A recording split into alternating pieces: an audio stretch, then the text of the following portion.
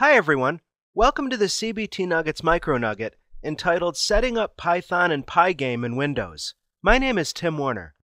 As you probably know, Python is a very versatile high-level programming language that can be used just about for any purpose under the sun. For those of you who are interested in video game development, you can use Python along with an excellent library called Pygame. Pygame is a Python interface to the C language Simple Direct Media Layer Library, or SDL. This gives us really efficient low level access to the computer components that are used all the time in video game development.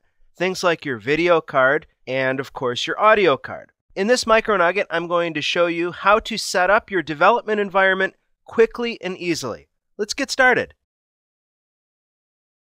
In this tutorial, I'm going to focus on the Microsoft Windows OS. If you're using OS 10 or Linux, shoot me an email or leave a comment here at YouTube if you'd like me to make a micro nugget showing you the differences in those installation routines.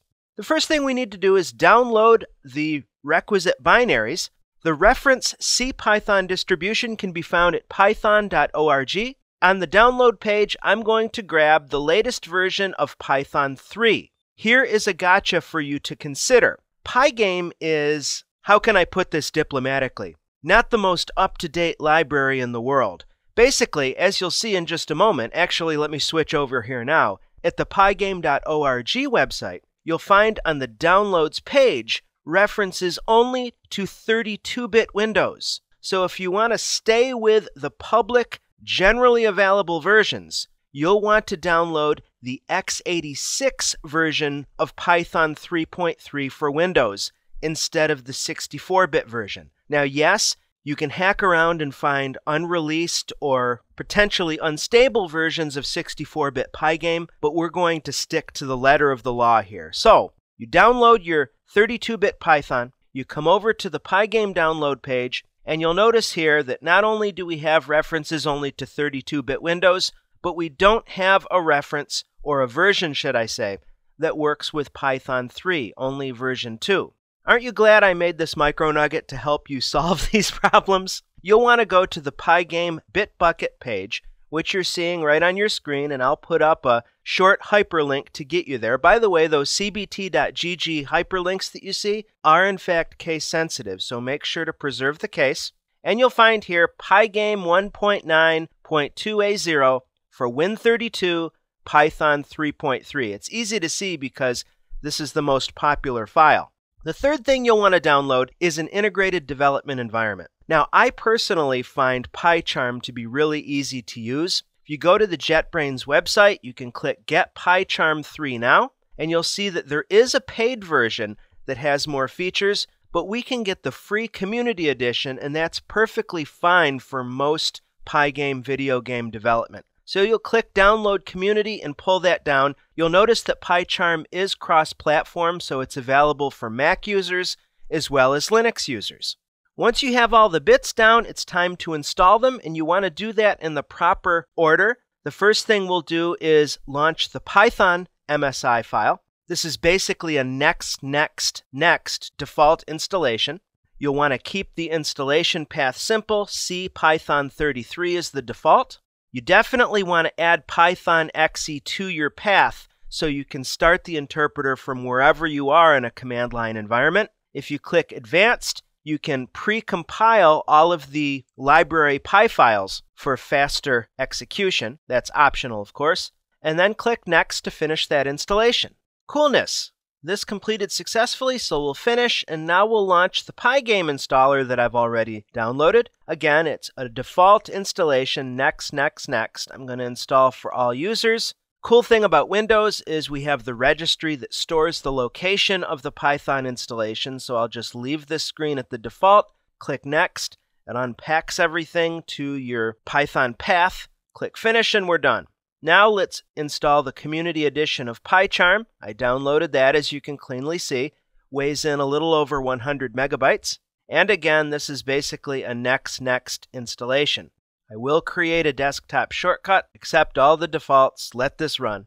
Well, that was easy. I will tick the box to run PyCharm Community Edition. Judging by the name Py with the reference to the snake, this is an IDE that's specifically focused on Python development.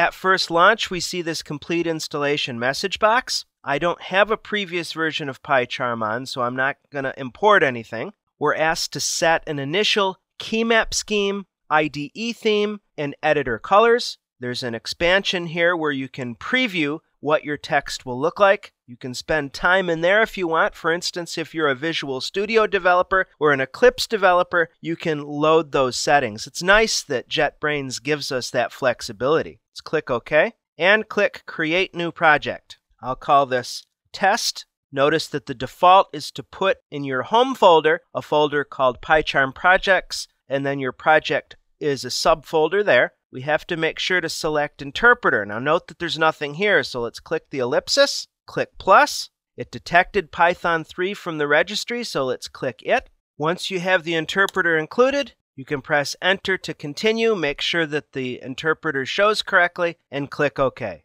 That's all first run stuff that you won't see anymore, so once you get the first run and initial environment stuff all set, you're good. So I'm going to dismiss the tip of the day, click Got It to get rid of this little pop up, and let's just quickly test to make sure that Pygame has been successfully installed. We'll right click our folder and select New File. I'll call this test.py, and I'll just try to import the Pygame module. If that comes back with no errors, then we know we're golden. Let's open the Run menu, select Run. Notice that you can Alt-Shift F10 as well. I'll use the test configuration. Exit code 0 means that it did successfully install that module. Good deal. All right, that's it, friends. Let me show you one more thing. Some of you, for whatever reason, love the Eclipse IDE. I don't mean to bash it, it's pretty cool, but just if you do want to use Eclipse, the short way to do that is one, you have to download and install the Java Development Kit. Here's a URL